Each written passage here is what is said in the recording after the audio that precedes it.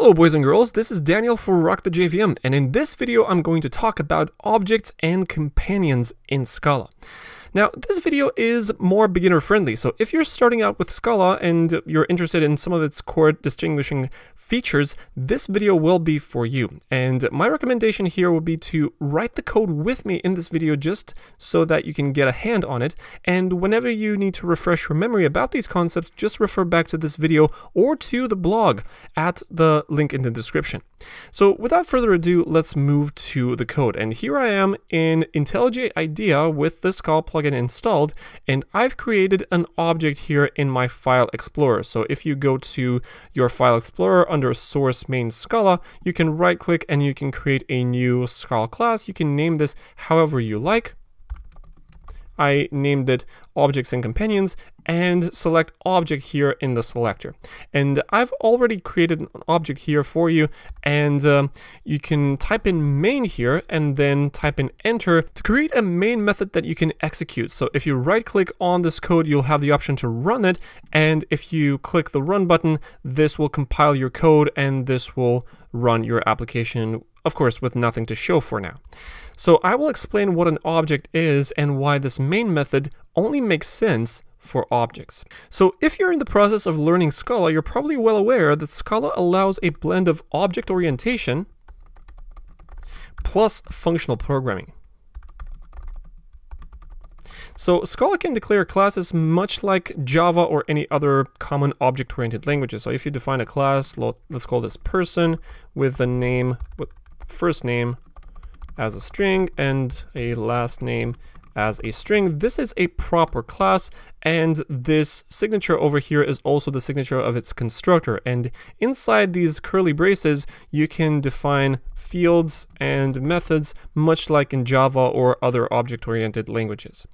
However, when you learned object orientation, I'm pretty sure that most of the people watching this video are already familiar with the object-oriented style of writing code. So when you learned object-oriented programming in the language of your choice, probably uh, Java, but not necessarily, the next step after learning the object-oriented principles was to structure your code so that you don't duplicate logic or find yourself tangled in your own code. So you learned object-oriented design patterns. And um, one of the first object-oriented design patterns that we usually learn after learning the object-oriented principles is the singleton pattern. And singleton pattern is making sure that only one instance of a type is present in our entire code base.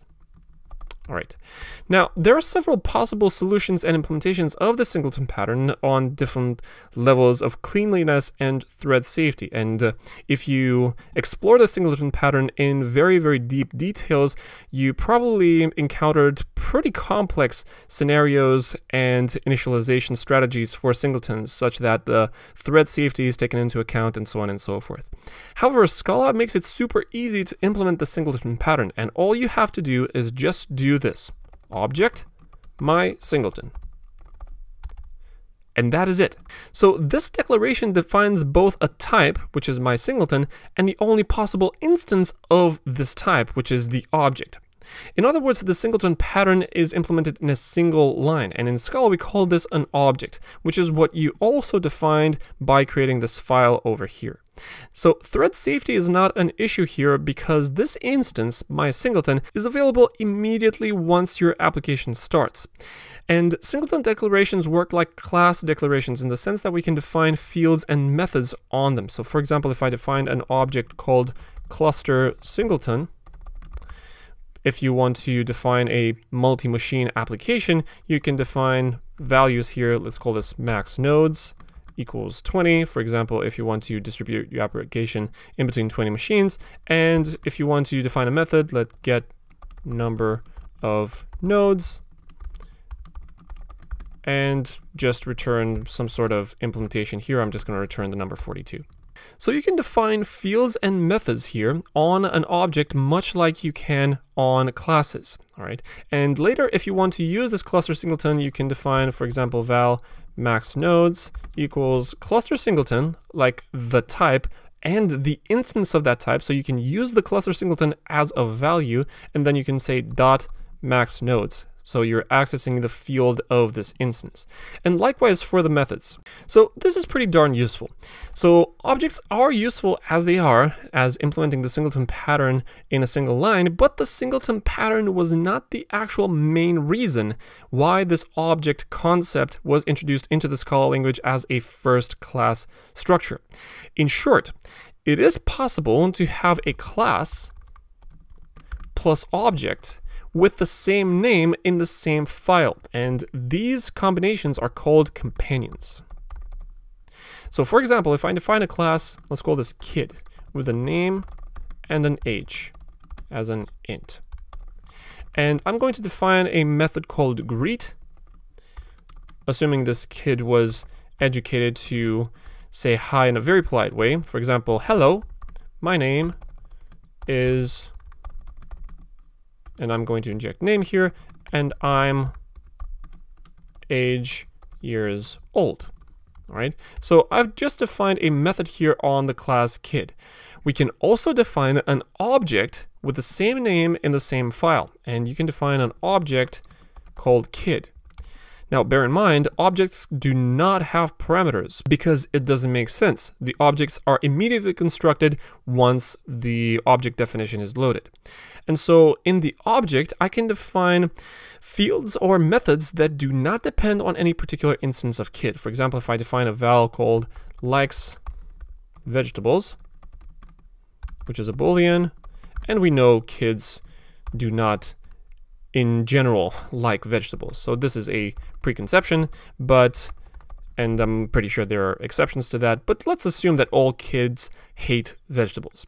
Regardless, we say that the class kid and the object kid are called companions, and more often we say that the object kid, this thing, is a companion object of the class. All right. Now, companions have the property that they can access each other's private fields and methods. So for example, if I define this likes vegetable thing as private, I can access likes vegetables here from the class. So for example, if I wanted to complete this method greet, I could say, do I like vegetables? And then I would inject kid.likes vegetables. And notice that the likes vegetables uh, value here is accessible in the kid class, but not outside. So if I say val kids like vegetables, I would say kid.likes vegetables. Or I could try writing that, but this field here is not visible. And notice that the compiler also tells me that. So companions can access each other's private fields. Now, this class object combo is very powerful because we can use the fields and methods on the kid class for instance related logic. For example, each kid instance has a method called greet. And on the other hand, you might want to have code that does not depend on any instance of kid. Does this ring a bell in other languages?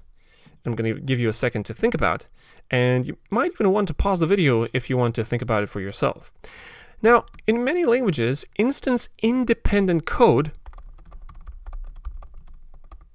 is usually called static in other languages, most notably Java. So in Java, if you were to write this kind of code in Java, we would write a class that would have a method called greet, a public constructor, and a static value likes vegetables of type boolean. So you would say something like static boolean likes vegetables equals false. So this would be an equivalent Java declaration for this val over here that we have for the object.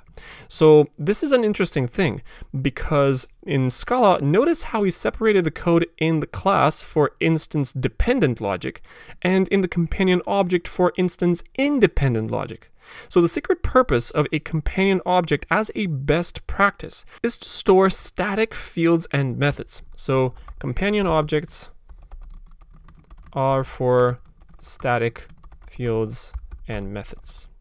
Now, to further prove the equivalence, Scala code written in this form with a class and a companion object in the same with the same name and the same file compiles to the same bytecode as a Java class with a static variable. All right, so just take my word for it. This kind of code compiles to the same bytecode as a Java class with a public constructor, a public method called greet, and a private static boolean likes vegetables equals false. All right.